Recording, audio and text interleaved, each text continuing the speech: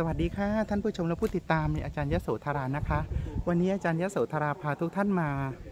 าเที่ยวนะคะ อุทยานประวัติศาสตร์พนมรุ้งนะคะ เดี๋ยวเราไปชื่นชมด้านในกันนะคะว่าด้านในมีความสวยสดงดงามเพียงใดนะคะ ที่นี่คือถือว่าเป็นเทวบรรพตหรือว่าเป็นภูเขาแห่งเทพเจ้านะคะ เป็นที่ประทับของเทพเจ้านะคะ แล้วก็เป็นที่ประทับขององค์พระศิวะมหาเทพนั่นเองนะคะที่สร้างขึ้นใน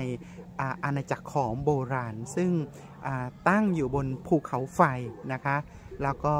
เป็นการเกลี่ยเนื้อดินให้มีความเสมอกัน แล้วก็เป็นการสร้างฐานไว้อย่างสวยงามแล้วก็มั่นคงนะคะ แล้วก็ถูกสร้างมานับเป็นพันปีแล้วนั่นเองนะคะ ถ้าเราเกิดก็คิดว่าเกิดนับ